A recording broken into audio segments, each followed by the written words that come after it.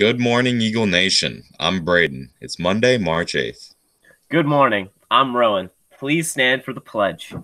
I pledge allegiance to the flag of the United States of America and to the republic for which it stands, one nation, under God, indivisible, with liberty and justice for all.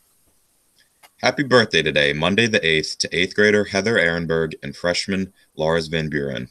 Attention, juniors and seniors. Have you completed the form about the junior prom yet? The prom committee needs your input, so please turn that in today. Thank you.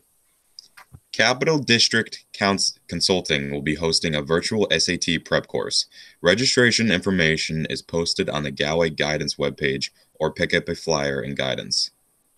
It's been a great winter field week, Eagle Nation. Thank you to all of the students in grades 7 through 12 who participated. Thank you to all the teachers and administrators who participated as well. And thank you to Coach Hinman and Coach Hayden for putting this together for all of us. We have the results for you now. The winners of the junior high division are the eighth graders. Great job, Eagles. The winners of the high school division are the seniors. Oh, yeah, we crushed it. If you have something you would like us to announce on GTV, please email Mrs. O at kbostran at galwaycsd.org. We would love to hear about your good news and share it with Eagle Nation. Have a great day, Eagle Nation. We will see you on Wednesday.